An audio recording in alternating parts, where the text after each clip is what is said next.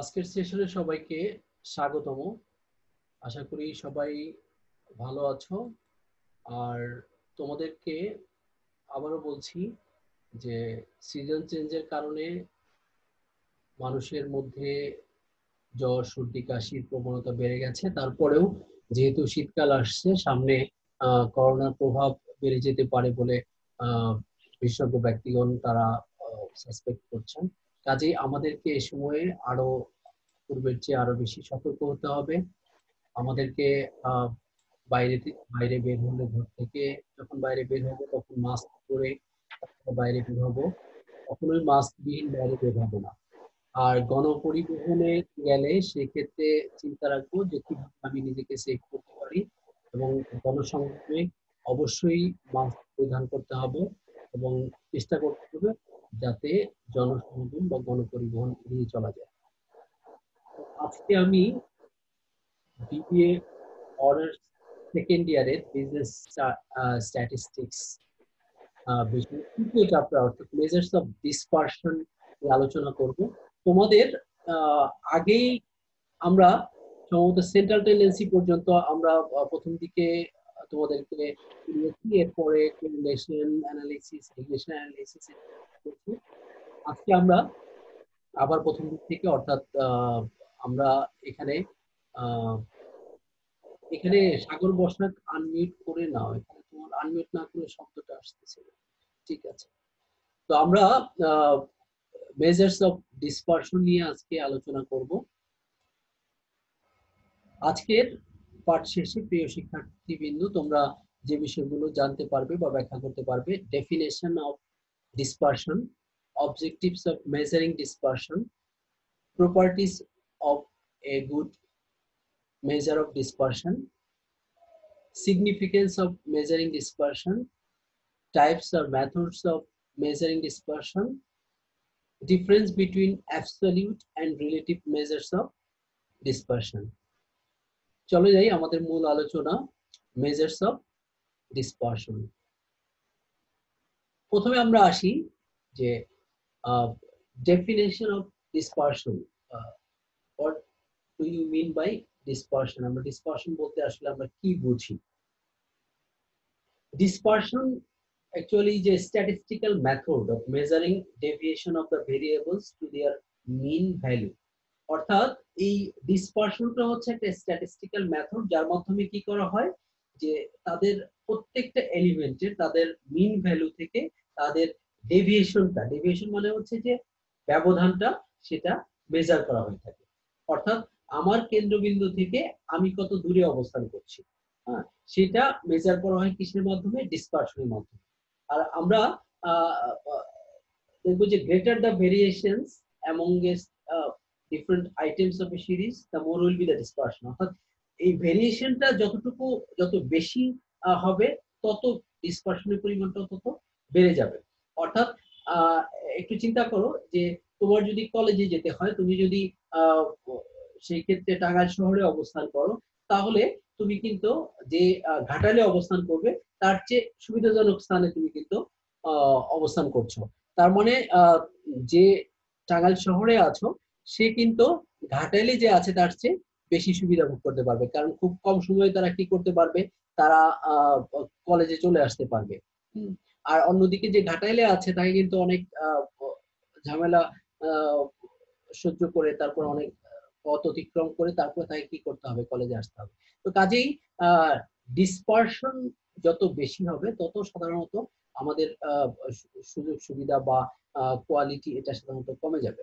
আর dispersion যত কম হবে, অর্থাৎ আমি যত আমার টার্গেট অর্থাৎ আমার মূল বিষয়ের কাছাকাছি যত থাকতে পারব, তত আমার জন্য এটা ভালো। তো বিভিন্ন অথর সাধারণত বিভিন্নভাবে ডিসপারশনকে ডিফাইন করেছে। আমরা দেখি এখানে যে এল বাউলে উনি কি বলেছেন? উনি বলেছে dispersion is the measure of the variations of the items অর্থাৎ আইটেমস এর মধ্যে যে ভেরিয়েশনটা এই ভেরিয়েশনটা যার মাধ্যমে মেজার করা হয়, সেটি হচ্ছে কি? ডিসপারশন অন্যদিকে ব্রুকস এন্ড ডিক কি বলেছে? যে dispersion is the degree of the scatter or variation of the variable about a center value. অর্থাৎ সেন্টার ভ্যালু হতে যে অন্যান্য যে ভেরিয়েবলগুলো আছে, সেই ভেরিয়েবলগুলোর মধ্যে যে ব্যবধান, সেটাই হচ্ছে তোমার ডিসপারশন যেটা আমরা আগেও বলেছি। তো আমরা তাহলে ফাইনালি কি বলতে পারি? যে in conclusion you can say that the distance of the variable from the central value is called measures of dispersion অর্থাৎ সেন্ট্রাল ভ্যালু থেকে প্রত্যেকটা আইটেম বা প্রত্যেকটা ভেরিয়েবলের সেন্ট্রাল ভ্যালু থেকে তার মধ্যে যে ব্যবধানটা আছে যে ডিসটেন্সটা আছে যে ভেরিয়েশনটা আছে সেটি হচ্ছে ডিসপারশন এবার আমরা দেখি যে অবজেক্টিভস অফ মেজারিং ডিসপারশন অর্থাৎ আমরা কেন ডিসপারশন মেজার করব? হ্যাঁ, কেন আমরা এই ব্যবধানটা আমার সেন্ট্রাল ভ্যালু থেকে আমার অবস্থানটা এটা কেন আমরা আমাদের মেজার করা দরকার কেন? First of all to determine the reliability of an average অর্থাৎ কোনো একটা অ্যাভারেজের রিলায়াবিলিটি টেস্ট করার জন্য, কারণ হচ্ছে আমরা দেখব যে ডিসপারশন হচ্ছে সবচেয়ে রিলায়েবল মেজার্স অফ অ্যাভারেজ অর্থাৎ আমরা অ্যাভারেজ মেজার করার জন্য যতগুলো পদ্ধতি আছে হ্যাঁ সেগুলোর মধ্যে আমাদের ডিসপারশনটা হচ্ছে সবচেয়ে reliable method to compare the variability of two or more series অর্থাৎ দুই বা ততোধিক সিরিজের মধ্যে আমরা যদি ভেরিয়েবিলিটি কম্পেয়ার করতে চাই, বা দুই বা ততোধিক আইটেমস এর মধ্যে, বা দুই বা ততোধিক প্রজেক্টের মধ্যে আমরা যদি ভেরিয়েবিলিটি অর্থাৎ তাদের পরিবর্তনশীলতা কতটুকু পরিবর্তনশীল কতটুকু তারা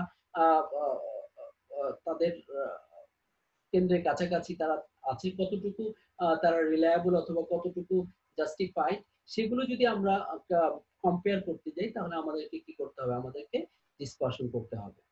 For facilitating the use of other statistical method আমরা যদি আদার স্ট্যাটিস্টিক্যাল মেজার্স আমরা ব্যবহার করতে যাই, সেক্ষেত্রেও আমাদের কি দরকার?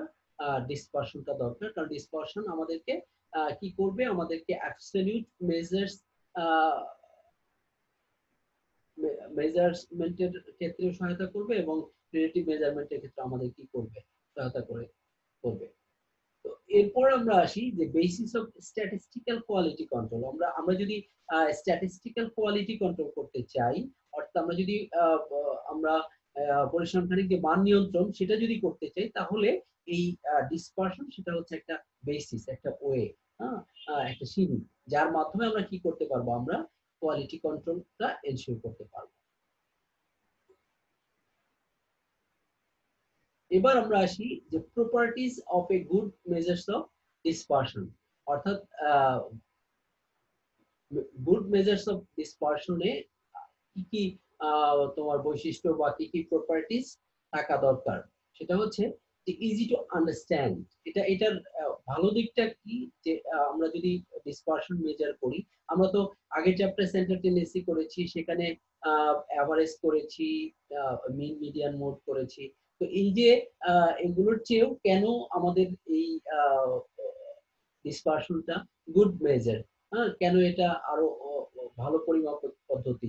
হ্যাঁ এটার কি কি প্রপার্টিজ আছে? কি কি বৈশিষ্ট্য বা কি কি গুণ আছে? আমরা এবার দেখি যে it is easy to understand অর্থাৎ এই ডিসপারশন এটা কি করা যায়? সহজে বোঝা যায়। আমরা আগে অন্যান্য মেজার্স যেগুলো দেখেছি, সেগুলো ক্ষেত্রে যতটা না বোঝা যায়, তার চেয়ে বেশি বোঝা যায় ডিসপারশনটা সিম্পল টু ক্যালকুলেট এটা ইজিলি কি করা যায়? ক্যালকুলেট করা যায়। আমরা সহজেই কি করতে পারব? আমরা অ্যাবসলিউট মেজার বা রিলেটিভ মেজার দুইটি সহজেই ক্যালকুলেট করতে পারব। ইউনিকলি ডিফাইন্ড এটা মানে এটা কোনো অ্যাম্বিগুইটি নাই। অর্থাৎ এটা এটা মানে সবার কাছে ক্লিয়ার সবার কাছে মানে এটা ইউনিকলি ডিফাইন্ড এটার জন্য ভিন্ন ভিন্ন যে বৈশিষ্ট্য বা ভিন্ন ভিন্ন মিনিং থাকবে, সেরকম না। এটা সবার কাছে একই রকম। বেসড অন অল অবজারভেশন এটা হাইলি ইম্পর্টেন্ট এই মেজার্স অফ ডিসপারশনের ক্ষেত্রে। কারণ হচ্ছে যে, অন্যান্য অবজারভেশনের ক্ষেত্রে আমরা আমরা অন্যান্য মেজার্স এর ক্ষেত্রে আমরা দেখি মিন বলো মিডিয়ান বলো ওমন বলো, যেটাই বলো না কেন। তো এগুলোর ক্ষেত্রে আমরা কিন্তু সব অবজারভেশনকে কনসিডার করে তারপরে আমরা করি না। কিন্তু এই ডিসপারশনের ক্ষেত্রে এটা ডিফারেন্ট যে এখানে সব অবজারভেশনকে এখানে অবজারভেশনের উপর ভিত্তি করে তারপর কি করা হয়? ডিসপারশন করা হয়। অর্থাৎ একটা আমরা যদি কোনো পপুলেশন নেই পপুলেশনের প্রত্যেকটা এলিমেন্টকে এখানে কি করা হয়? কনসিডার করা হয়। কিন্তু অন্য ক্ষেত্রে কিন্তু সেগুলো কনসিডার করা হয় না। Not affected by extreme observation অর্থাৎ যেহেতু এই ক্ষেত্রে সকল অবজারভেশন কনসিডার করা হয় সেহেতু এখানে কোনো এক্সট্রিম অবজারভেশন দ্বারা কি হয় না, এটা এফেক্টেড হয় না। অর্থাৎ অতিরিক্ত কোনো ধরনের কোনো অবজারভেশন যদি আসে, তাহলে সেই ক্ষেত্রে সেটাকে কনসিডারেশনে এনেই ডিসপারশন করা হয়। কাজেই এই এক্সট্রিম অবজারভেশন এটা কি করে না, এটা ডিসপারশন ক্ষেত্রে এফেক্ট করে না। Capable of further algebraic treatment অর্থাৎ এই ডিসপারশন এটা থেকে আমরা অন্যান্য অ্যালজাব্রিক ট্রিটমেন্ট আমরা করতে পারি। এবার আমরা আসি যে narrate the necessity or significance of measuring dispersion, অর্থাৎ ডিসপারশনটা আমরা কেন মেজার করব, কেন এটা significant first of all to test the reliability of an average আমরা একটু আগেও সেই জিনিসটা অবজেক্টিভস এর মধ্যে আমরা দেখেছিলাম যে আমরা যতগুলো অ্যাভারেজ করি, তার মধ্যে সবচেয়ে রিলায়েবল অ্যাভারেজ হচ্ছে যে এই ডিসপারশন এটা আহ, এটা সব সিচুয়েশনে সব ক্ষেত্রে এটা ব্যবহার করা যায়। কিন্তু তোমার সকল অ্যাভারেজ কিন্তু সকল সিচুয়েশনে রিলায়েবল নাও হতে পারে হ্যাঁ? বাট এই মেজার্স অফ ডিসপারশন এটা কিন্তু সকল সিচুয়েশনেই এটা কি? রিলায়েবল সব ক্ষেত্রেই এটা কি করা যায়? অ্যাপ্লাই করা যায়। কিন্তু সব ক্ষেত্রে কিন্তু আমরা কি করতে পারি না? আমরা মিন করে বা মিডিয়ান মুড এগুলোর মাধ্যমে কিন্তু সব ক্ষেত্রে আমরা ব্যবহার করে আমরা রিলায়েবিলিটি টেস্ট করতে পারি না। কিন্তু আমরা কি করতে পারি? আমরা ডিসপারশন ব্যবহার করে সকল সিচুয়েশনে যে কোনো সিচুয়েশনে আমরা রিলায়েবিলিটি টেস্ট করতে পারি। টু কন্ট্রোল দ্য ভেরিয়েবিলিটি যেহেতু আমরা জানি যে এই ডিসপারশন এটা বলে দেয় যে আমার চলকগুলো থেকে আমার সেন্ট্রাল ভ্যালুটা কত দূরে অবস্থান করছে। তাহলে যেহেতু আমার জানা আছে যে এই কতটুকু ভেরিয়েশন আছে বা ভেরিয়েশনের নেচারটা কেমন বা কিসের কারণে ভেরিয়েশনটা হচ্ছে, তাহলে কিন্তু সহজে এগুলোকে ভেরিয়েবিলিটিটাকে কি করা যায়? কন্ট্রোল করা যায়।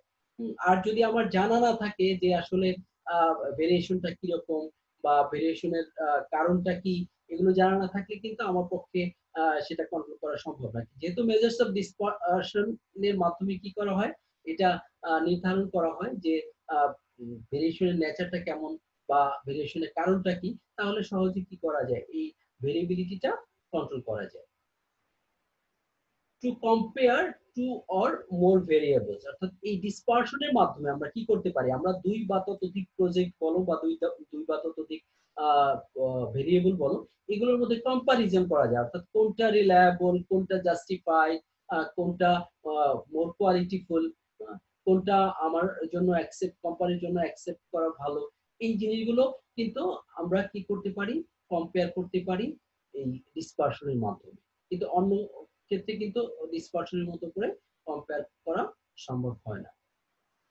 কারণ ডিসপারশনের ক্ষেত্রে আমরা দেখব যে কফিসিয়েন্ট অফ ভেরিয়েশন করব। তো কফিসিয়েন্ট অফ ভেরিয়েশনের মাধ্যমে বা স্ট্যান্ডার্ড ডেভিয়েশনের মাধ্যমে আমরা কিন্তু দুই বা ততোধিক চলক অথবা দুই বা ততোধিক প্রজেক্ট বা ফার্ম এগুলোর মধ্যে কম্পারেটিভ অ্যানালাইসিস করতে পারব। যে কোনটা ভালো, কোনটা মন্দ, কোনটা আমাদের জন্য উপযোগী, এই জিনিসগুলো কিন্তু এই ডিসপারশনের মাধ্যমে সম্ভব। Use in further statistical analysis এই ডিসপারশন এটা কিন্তু আমরা ফার্দার স্ট্যাটিস্টিক্যাল অ্যানালিসিস যেমন ধরো correlation regression test of hypothesis এগুলোর ক্ষেত্রে কিন্তু এই মেজার্স অফ ডিসপারশনটা ব্যবহার করা হয়ে থাকে। এবার আমরা আসি যে মেজার্স অফ ডিসপারশন আমরা সাধারণত দুইটি মেজার্স অফ ডিসপারশন দেখে থাকি। দুই ধরনের, একটা হচ্ছে যে অ্যাবসলিউট মেজার্স অফ ডিসপারশন আর একটা হচ্ছে রিলেটিভ মেজার্স অফ ডিসপারশন তো এই যে অ্যাবসলিউট মেজার্স অফ ডিসপারশন বলতে আমরা আসলে কি বুঝি? হ্যাঁ এটা হচ্ছে যে expressed in the same units in which data is expressed অর্থাৎ যে ডেটাটা যে ধরনের সেভাবেই এটাকে এক্সপ্রেস করা হয়। অর্থাৎ অ্যাজ ফর এক্সাম্পল ধরো যে তোমার তোমাদের মান্থলি কোথাও মান্থলি ইনকাম দেয়া আছে, অথবা তোমাদের অ্যাভারেজ এজ দেয়া আছে, তাহলে যেভাবে দেয়া আছে অ্যাভারেজ এজ থাকলে আমরা আমরা অ্যাভারেজ এজ কত সেটাই কিন্তু সেভাবে আমাদেরকে এটা এক্সপ্রেস করা হবে। যদি এখানে ইনকামের কথা বলা থাকে, তাহলে সেই ক্ষেত্রে ইনকামের বিষয়টাই আসবে অ্যাবসলিউট মেজার্স ক্ষেত্রে। যদি এটা রুপি বা কেজি বা লিটার এগুলোতে যদি দেয়া থাকে, তাহলে এগুলোতেই কি করা হবে?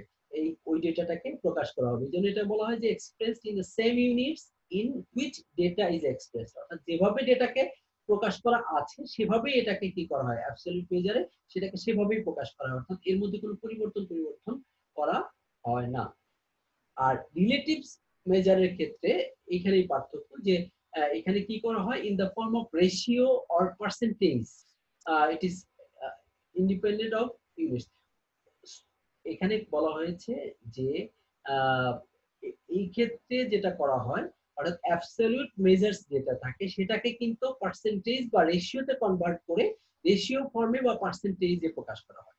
অর্থাৎ সরাসরি যেটা দেয়া ছিল, সেটাকে অর্থাৎ যদি কেজি বা রুপি বা লিটার এগুলো যদি থাকে কোনো কিছু, তাহলে কিন্তু সেটাকে ওইভাবে প্রকাশ করা হয় না। ধরো আমরা যদি বলি যে অ্যাভারেজ এজের কথা যদি আমরা বলি, তাহলে অ্যাভারেজ অ্যাবসলিউট মেজারের ক্ষেত্রে অ্যাভারেজ এজ কত সেটা কিন্তু প্রকাশ করছে। ধরো কারও অ্যাভারেজ যদি টোয়েন্টি ইয়ার্স তাহলে টোয়েন্টি ইয়ার্স কিন্তু প্রকাশ করছে। কিন্তু কথা হচ্ছে যে এই রিলেটিভ মেজার্স এর ক্ষেত্রে কিন্তু এভাবে প্রকাশ করা হয় না। রিলেটিভ মেজার্স এর ক্ষেত্রে কি করা হবে? রিলেটিভ মেজার্স এর ক্ষেত্রে এটাকে পার্সেন্টেজ করে পার্সেন্টেজে প্রকাশ করা অর্থাৎ যা কিছুই ইউনিটটা যেভাবেই থাক না কেন সেটাকে পার্সেন্টেজ করে তারপরে এটাকে প্রকাশ করা হবে। তো এটাকে কোএফিসিয়েন্ট অফ ডিসপারশন বলা হয়ে থাকে রিলেটিভ মেজার্স কে। এবার আমরা এই অ্যাবসলিউট মেজার্স এবং রিলেটিভ মেজার্স এর প্রকারভেদগুলো আমরা দেখব। আমরা জানলাম যে অ্যাবসলিউট মেজার্স আসলে কি যেটা যে ধরনের ইউনিট দেয়া থাকবে ঠিক সেভাবেই এটাকে কি করা হবে, প্রকাশ করা হবে। এই জন্য এটাকে অ্যাবসলিউট মেজার্স বলা হয়ে থাকে। আর আমরা সাধারণত এই চারটি ভাবে কি করতে পারি? অ্যাবসলিউট মেজার্স করতে পারি। একটা হচ্ছে range quartile deviation mean deviation আর স্ট্যান্ডার্ড ডেভিয়েশন এগুলোর মাধ্যমে আমরা কি করি? আমরা অ্যাবসলিউট মেজার্সটা পাই। আর রিলেটিভ মেজার্স হচ্ছে যে অ্যাবসলিউট মেজার্স কে করা হয়? এটাকে রেশিও বা পার্সেন্টেজে প্রকাশ করা হয়। তাহলে এটা রিলেটিভ মেজার্স হয়ে যায়। তো সেই ক্ষেত্রে এটাকে আমরা কি বলেছি? আমরা কোএফিসিয়েন্ট অফ ডিসপারশন বলেছি। এই জন্য এটাকে আমরা এটাকে আমরা চার ভাগে ভাগ করতে পারি। এটাকে কোএফিসিয়েন্ট অফ রেঞ্জ দেখি আগে রেঞ্জ দেখিয়েছিলাম অ্যাবসলিউট মেজারে এটা হবে কোএফিসিয়েন্ট অফ রেঞ্জ এরপর কোয়ার্টাইল ডেভিয়েশন দেখিয়েছিলাম, এটা coefficient of quartile deviation mean deviation দেখিয়েছিলাম, এটা coefficient of mean deviation standard deviation দেখিয়েছিলাম, এটা হবে কোএফিসিয়েন্ট অফ ভেরিয়েশন অর্থাৎ কোএফিসিয়েন্টের মাধ্যমে সাধারণত রিলেটিভ মেজার্স কে প্রকাশ করা হয়ে থাকে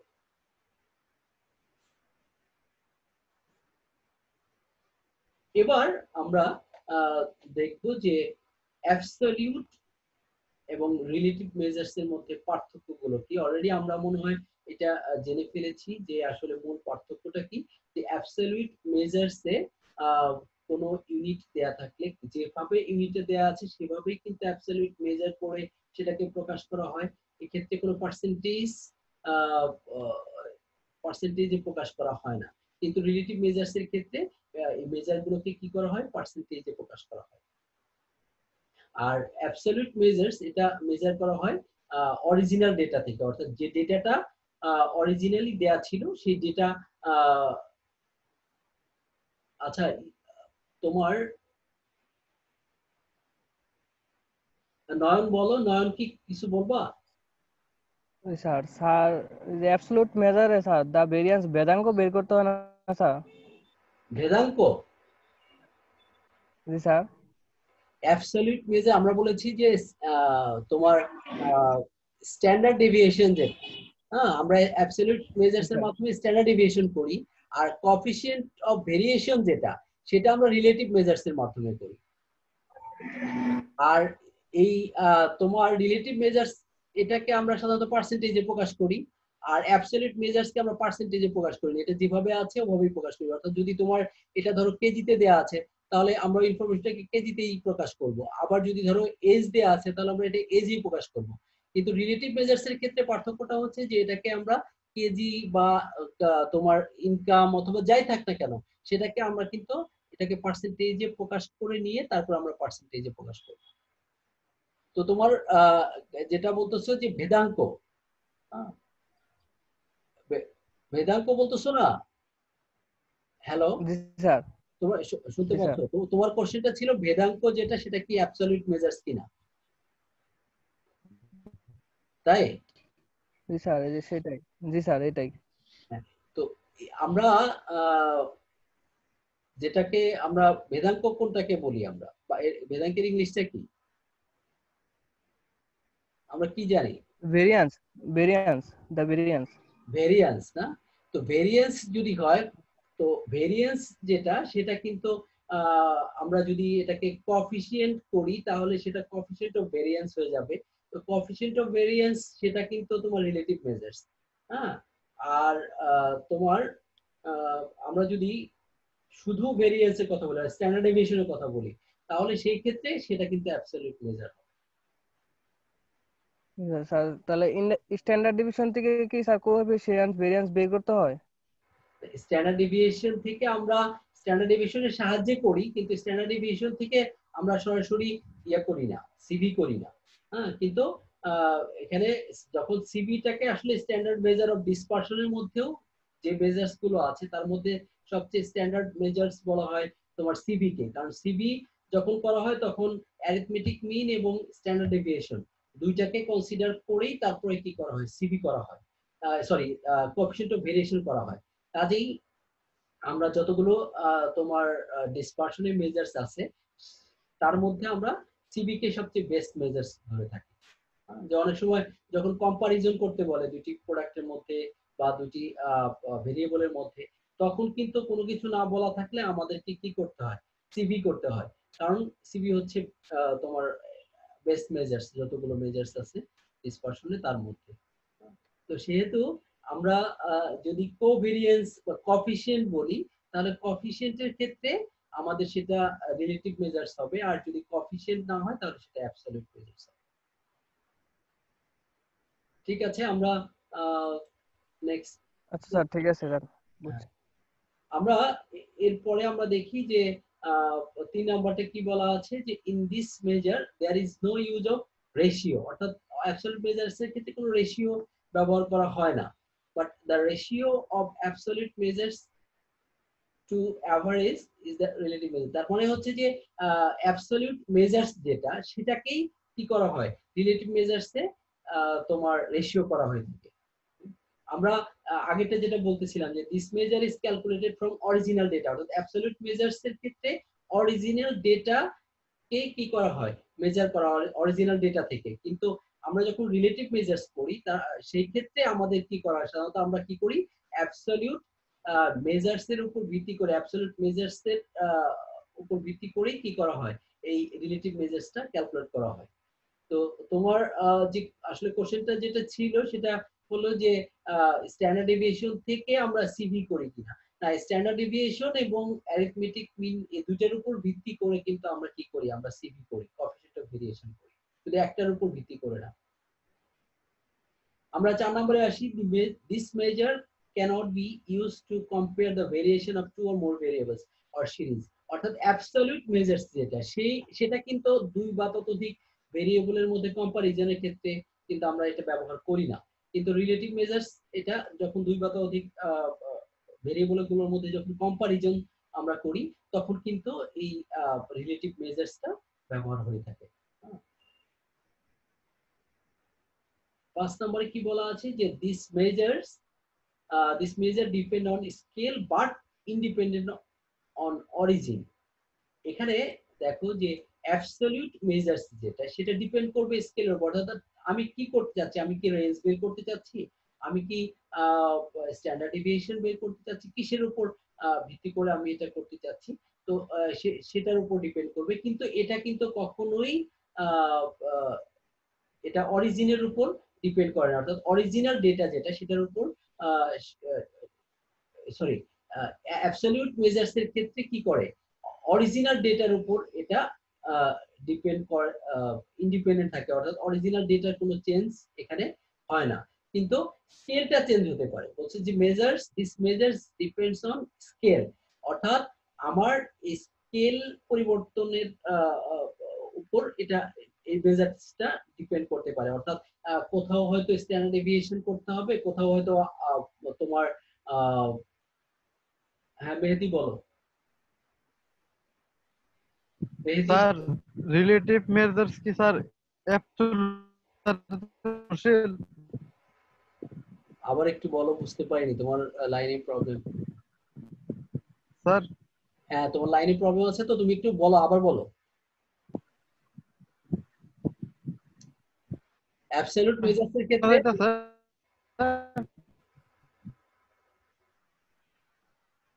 প্রবলেম হচ্ছে। মেহেদি তুই চ্যাটে আয় চ্যাটে আয় স্যারকে মানে লেখে বলো হ্যাঁ তুমি লেখা দাও। লিখে- দাও প্রবলেমটা তোমার কি সমস্যা ফেস করছ সেটা লিখে দাও তাহলে বুঝতে হবে চ্যাটে আসো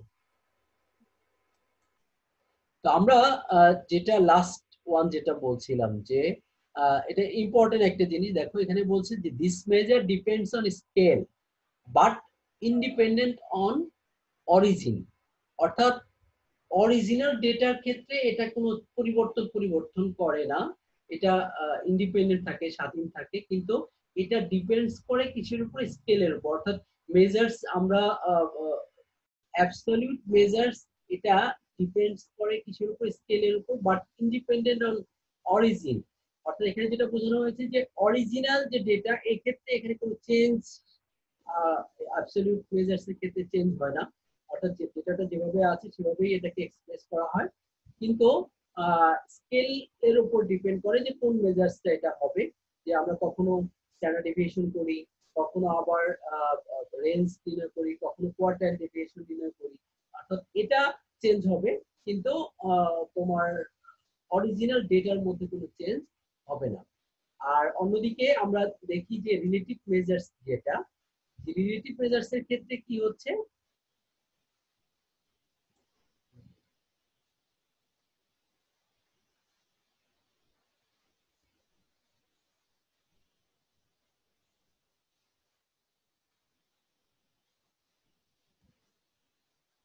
রিলেটিভ মেজার্স এর ক্ষেত্রে this measure depends on origin but not depend on scale অর্থাৎ এখানে অরিজিনের উপর ডিপেন্ড করছে।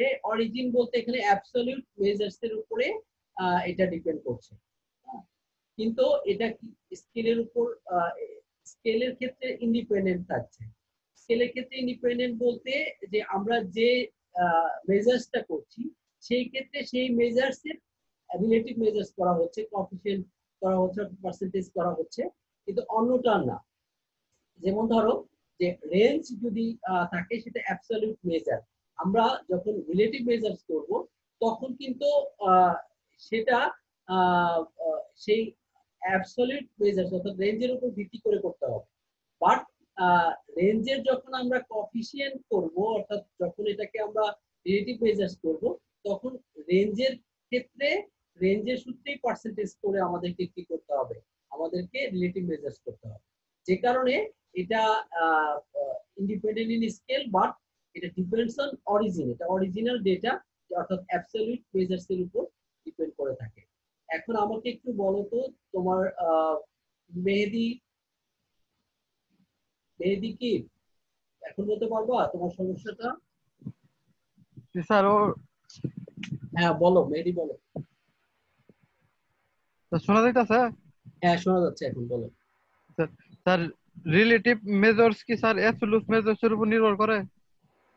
হ্যাঁ রিলেটিভ অর্থাৎ নির্ভর করে বলতে অ্যাবসলিউট মেজার্স এর ডেটা গুলোর সাহায্যে কি করা হয়? তোমার রিলেটিভ মেজার্সটা করা হয়ে থাকে। অর্থাৎ অ্যাবসলিউট মেজার্স যা ছিল সেই ডেটা গুলোকে নিয়ে তারপর কি করা হয়? সেটাকে পার্সেন্টেজ করে রিলেটিভ মেজার্স করা হয়। রিলেটিভ মেজার্সে কিন্তু আর তেমন কিছুই করা হয় না। এটা কি করা পার্সেন্টেজ দিয়ে প্রকাশ করা হয়। আর অ্যাবসলিউট তাহলে স্যার এখানে স্যার একটা পার্থক্য যোগ করা যাবে না? বলো। স্যার এখানে স্যার তাহলে স্যার আর একটা পার্থক্য যোগ করা যাবে না? হ্যাঁ বলো পার্থক্যটা বলো। যোগ করা যাবে না কেন? Sir sir sir absolute measures doesn't depend on relative measures, but relative measures depends on absolute measures. হ্যাঁ সেটাই তো, সেটা সেটা তো এখানেই বলে দিল যে this measure depends on scale এই যে দেখো absolute measures depends on scale but independent on origin অর্থাৎ অরিজিনের ক্ষেত্রে অরিজিনাল ডেটা যেভাবে আছে, সেভাবে এটাকে এক্সপ্রেস করবে। আমি যে বললাম অরিজিনাল ডেটা যদি এজে দেয়া থাকে এজে প্রকাশ করবে। অরিজিনাল ডেটা যদি তোমার এটা ইনকাম দেয়া থাকে, তাহলে ইনকামে প্রকাশ করবে। ধরো তুমি রেঞ্জ বের করতে চাইলে যে কত কিলোমিটার হ্যাঁ এখান থেকে এখানে দূরত্বটা কত কিলোমিটার তুমি টাঙ্গাইল থেকে ঘাটালের দূরত্বটা কত? তাহলে এইখানে কিন্তু কিলোমিটারই প্রকাশ করবে। এটা হচ্ছে অরিজিনাল ডাটাটাই স্যার অ্যাবসলিউট মেজার্স নাকি? জি জি। অরিজিনাল ডেটাটাকে অরিজিনাল ডেটা যেটা আছে সেটা অ্যাবসলিউট মেজার্স না। অরিজিনাল ডেটাকে আমরা অ্যাবসলিউট মেজার্সে প্রকাশ করি। কিন্তু প্রকাশ করলে যে এন্ড রেজাল্ট যেটা সেটা কিন্তু অরিজিনাল ডেটা যেভাবে প্রকাশ করা ছিল সেভাবে প্রকাশ করতে হবে। অর্থাৎ অরিজিনাল ডেটাটা যদি কিলোমিটারে প্রকাশ করা থাকে যে এখানকার থেকে এখানে দূরত্ব হচ্ছে এত কিলোমিটার তাহলে সেই ক্ষেত্রে তুমি রেঞ্জটা বের করো। তো সেই ক্ষেত্রে কিন্তু যে রেঞ্জের যে রেজাল্ট আসবে এন্ড রেজাল্ট যেটা আসবে সেটা কিন্তু কিলোমিটারে হবে। এখানে এই জিনিসটা বলা হয়েছে। আর রিলেটিভ মেজার্সে যেটা বলা হচ্ছে যে এটা আহ, তোমার অঙ্কে অরিজিনাল ডেটা বা অ্যাবসলিউট মেজার্সে যাই থাক না কেন অরিজিনাল ডেটা ধরো দেয়া ছিল কিলোমিটার অথবা দেয়া ছিল এজ দেয়া ছিল ইনকাম কিন্তু এটাকে তো পার্সেন্টেজে পরিবর্তন করা হচ্ছে।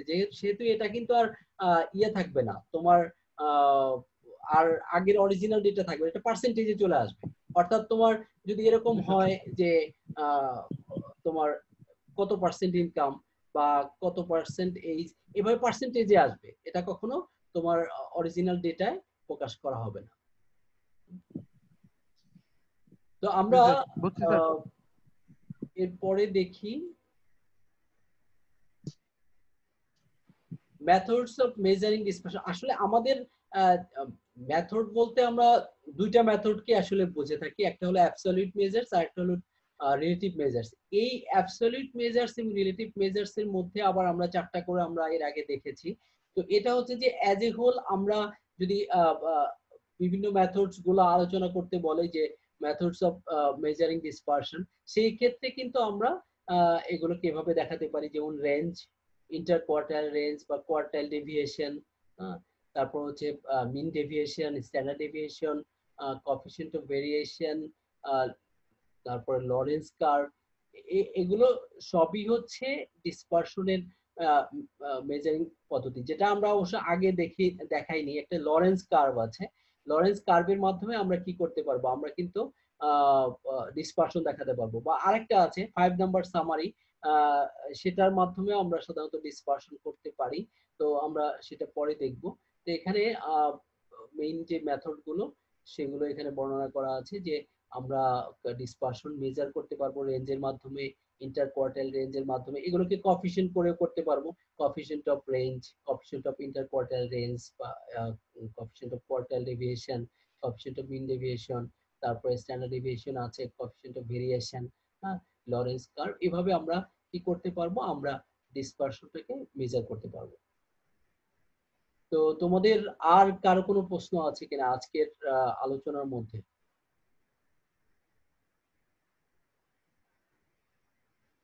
আজকের আলোচনার মধ্যে আর কারণ হ্যাঁ নয়ন বলো।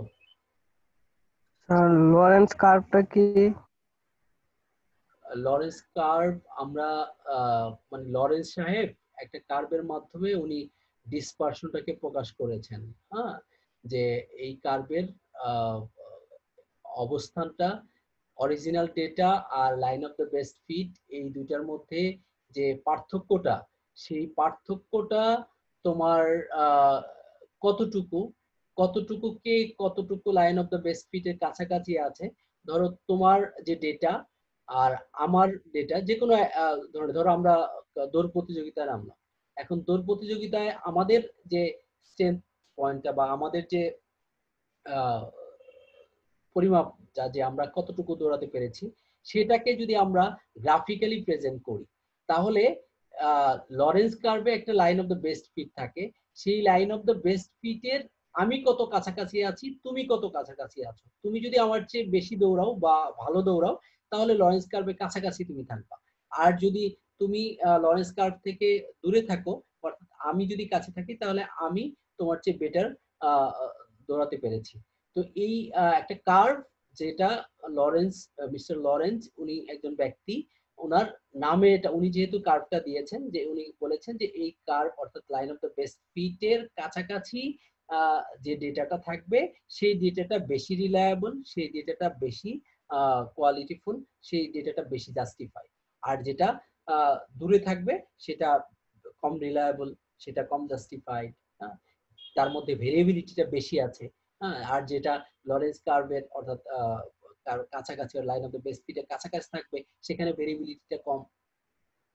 বুঝতে পেরেছ? আমরা লরেন্স কার্ভ দেখাবো। তোমাদের কার্ভ সহ নেক্সট ক্লাসে আমরা নেক্সট ক্লাসে বা পরবর্তী ক্লাসে যখন আমরা লরেন্স কার্ভ নিয়ে আলোচনা করব তখন কার্ভ সহ তোমাদেরকে এটা দেখাবো। ঠিক আছে? আচ্ছা ঠিক আছে স্যার আর কেউ বলো? আর কেউ কোনো সমস্যা থাকলে? ডিসপারশন কি এটা ক্লিয়ার সবার কাছে? জেরিন তাসনিম। জি স্যার ক্লিয়ার জেরিন তাসনিম একটু ইয়ে করো তোমার মিউটটা আনমিউট করে নাও। জেরিন তাসনিম শুনতে পাচ্ছ?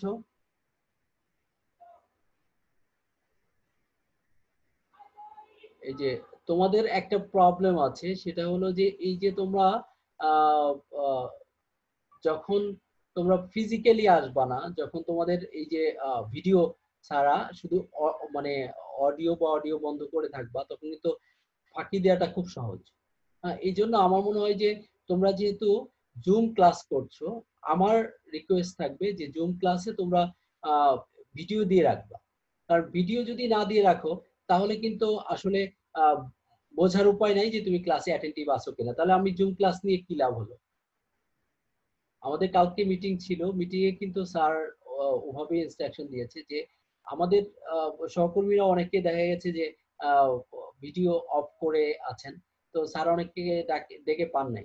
তো না পাওয়ার পরিপ্রেক্ষিতে এটা নিশ্চিত বোঝা যায় যে আসলে সে কি করেছে, সে এই এটা অন করে তারপরে চলে গেছে। এখন তো আমি যদি এখানে অন করে দিয়ে তুমি যে এরকম ভাবে আছো, ভিডিও, ভিডিওটা অফ আছে, তোমার অডিও অফ আছে, তুমি কি করলা? তুমি এখান থেকে অন্য জায়গায় চলে গেলা, অন্য কাজে চলে গেলা। তাহলে কিন্তু সেটা সম্ভব। যে তুমি ক্লাস করতেছো বাট তুমি এখানে নাই। যে কারণে আমার রিকোয়েস্ট থাকবে নেক্সট ক্লাস থেকে তোমরা যারা ক্লাস করতে চাচ্ছ ডেফিনেটলি সেটা ভিডিও উইথ ভিডিও তোমরা ক্লাস করবা।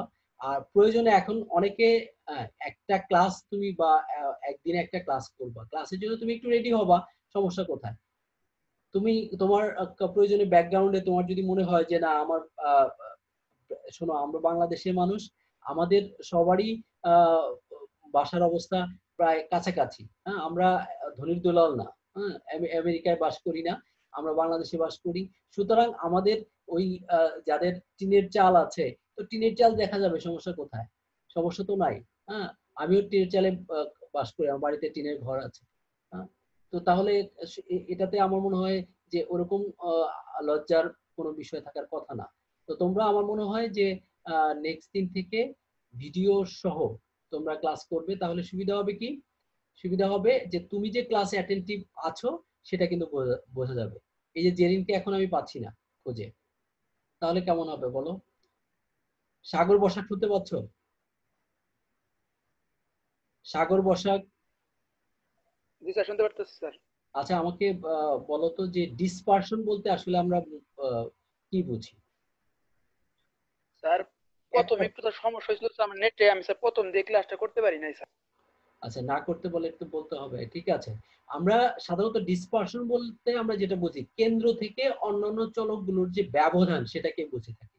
কেন্দ্র মানে টার্গেট পয়েন্ট অর্থাৎ তুমি কি করতে অ্যাজ ফর এক্সাম্পল ধরো তুমি একটা বক্স বক্সে তুমি একটা মার্বেল নিক্ষেপ করতে চাচ্ছ এখন আহ, তুমি তোমার টার্গেট পয়েন্টের যে কাছাকাছি মার্বেল খেলছো আগে কখনো? জি স্যার ছোটবেলায় খেলছি। খেলছো।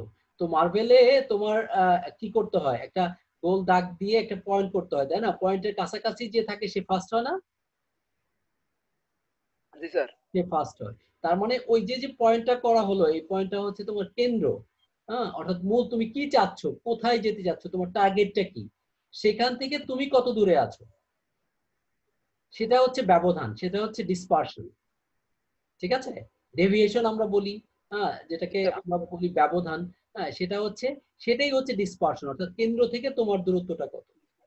অর্থাৎ আমরা যার মাধ্যমে বিভিন্ন ভেরিয়েবলগুলা কেন্দ্র থেকে তাদের দূরত্ব কতটুকু সেটা মেজার করি সেটাই হচ্ছে তোমার ডিসপারশন ঠিক আছে?